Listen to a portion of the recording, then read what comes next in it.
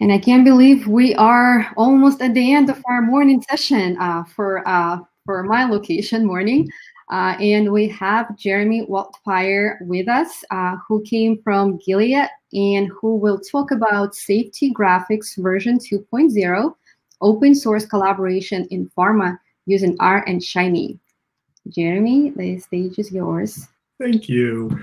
Um, hi, everybody. I'm Jeremy Wildfire, and um, as Vola said, I'm going to be talking about open source collaboration in pharma and specifically talking about the upcoming version 2.0 release of the Safety Graphics app.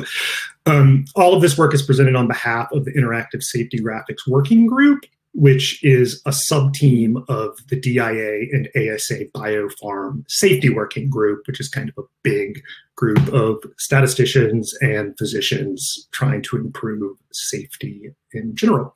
Um, you can see here a list of organizations on our working group. So lots of different groups across pharma, um, large and small. In CROs, uh, we have several academic organizations who have people contributing, and of course our friends at the FDA. Becca Krouse presented on this topic last year at R in Pharma. So I'm going to briefly recap some of the things Becca talked about, but mostly focus on what we've been doing in the last year. Um, oh, by the way, my slides are available at the link at the top of the page, safetygraphics.github.io. Just scroll all the way to the bottom and you can learn more about the team there as well. So Becca presented last year um, fairly recently after the version one release of Safety Graphics. So I'll just kind of recap how that works and talk about some of the changes in 2.0. Um, so the Safety Graphics package is available on CRAN, codes on GitHub. There's a link to a demo here. Generally, you're going to use it by initializing the Shiny app that's included using the code below. Once you do that, you're going to see the homepage for the app. And in general, the workflow for using the app is going through these four tabs at the top of the page. So first, you're going to load, load in your data. Um, version one of the app just used laboratory data. So you want to load your lab data in. And as you can see here, I've loaded in a few files along with the example file. And when you load in a data set, the app attempts to automatically detect the data standard if it's ADaM or SDTM, which can be really nice. You can also load in data with no data standard. And after you've loaded your data, you're going to go to the next tab and you're going to configure your settings. So the main chunk of this is just doing some quick data mappings to tell the app what column goes with what um, kind of parameter that's used in your charts. And if you use ADaM or SDTM data, the app will just fill this in for you. It knows that the ID column in both ADaM and SDTM is use ID. Um, if you load in your own data set, you know, the Excel file that the lab sent you, then you'll have to do this by hand, but it really goes pretty quickly. Um, just usually takes a minute or two to do it. Once you've done uh, loaded your data and kind of filled in that settings page, you can go over and start exploring all the various interactive charts we have. So this first one is an implementation of an eDISH chart called the HEP Explorer, and there's several others that you get um, all loaded off the same data and settings page once you've got your charts running, you can go back and forth between the settings page and the graphics page and, and customize them. So for example, you could add a treatment group or you can add filters and there's various other kind of configurations you can do. And then finally, you can export your charts to a standalone HTML file, kind of all wrapped up in a, in a single document that can be shared really easily and doesn't even require the user to be running R. Okay, so let's talk about Safety Graphics version 2. We've been hard at work on this for the last year or so, and um, we're hoping to release it on CRAN by the end of the year. You can play with the prototype on, on um, now if you want to load it from GitHub using the code below. So some lessons learned from V1 of the app, which has been out for a while now. There's some things that we think worked really well. We really liked loading data and configuring it once and then getting all of those charts to, to load automatically. So we had six or seven charts in the initial version of the app. Um, flexible data standards is really good. I was really surprised by how often people wanted to load data with no data standard. So I think that was really valuable. Um, Shiny and in particular Shiny modules really helped make this possible. And the exported HTML reports we think worked really well. There were some things we knew needed updates when we went live with version one. So version one focused on lab data only. It was primarily focused on HTML widgets and interactive graphics. Um, and we wanted to expand that to other types of charts as well. Adding new charts was hard in version one. It was possible. We wrote a very long vignette about how to do it, but I'm not sure anybody other than Becca and myself ever actually did it. So we wanted to make that easier.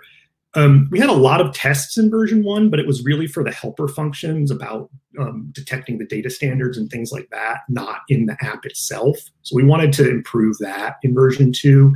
And finally, saving customizations for a given study was, again, possible, but not trivial in version one. So V2 is going to improve on all of that, which is great. Um, I'll talk more about these improvements that are coming in version 2. Our original plan was to do kind of an agile series of improvements to the app and do version 1.1, 1.2. It didn't really work out. Instead, we ended up doing a, really a refactor of the entire code base and added a lot more modularity. And I'll talk about that a little bit more in a second. So this is a screenshot from version two of the app. Now you can see we have multiple data domains that can be loaded in. And that ended up being a lot harder than I thought it would be. Um, so version one of the app had a module for every tab, basically with a few little exceptions. In version two, we added a lot more modularity. And this really um, helped with a lot of making the app more flexible. And I'll, I'll talk about that in a second. So there's still one mapping tab module that kind of captures the whole of the data mapping process. But nested within that, there are domain level modules. So there's three of those. There's column level modules that um, capture kind of all of the information for a single column of data. So like here you can see we're mapping the measure column in the labs domain, and you also need to map some field level information for labs. And then finally, there's the select modules, which is just captures each single select element. And having these modules this way means we can really do a lot of automated testing and we can generate that settings page basically with any set of data um, that we want to use. Any domains can be added pretty easily using this fully modular approach. Um, I could probably talk about the automated testing for a full presentation, so maybe next year.